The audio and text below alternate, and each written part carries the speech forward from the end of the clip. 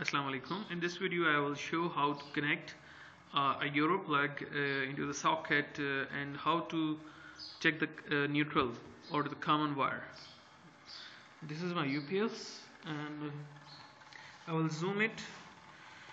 Basically you are attaching the load to this port.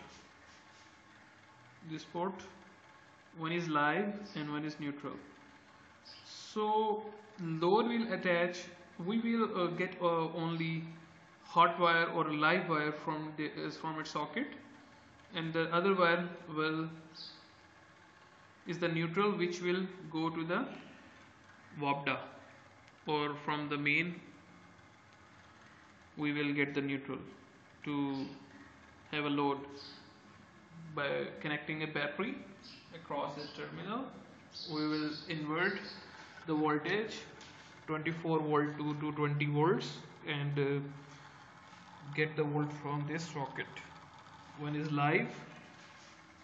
Only the live we want from here. This is the one first uh, uh, another configuration. Live wire from here and the neutral wire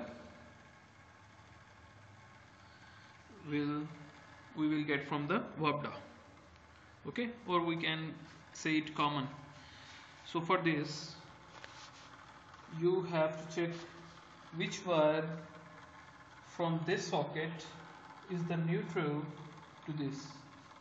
And after checking it I got that the green wire is common wire which is coming from the WAPDA and uh, also from this socket. So the wire of green must be neutral. And I have checked that uh, the green wire is here and I uh, already mentioned it neutral N.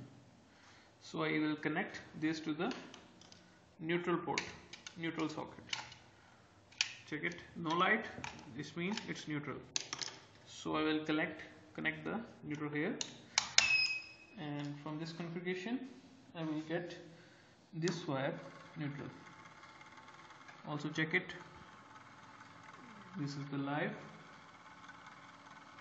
So this is the configuration. If you want any question you can ask it. Allah Hafiz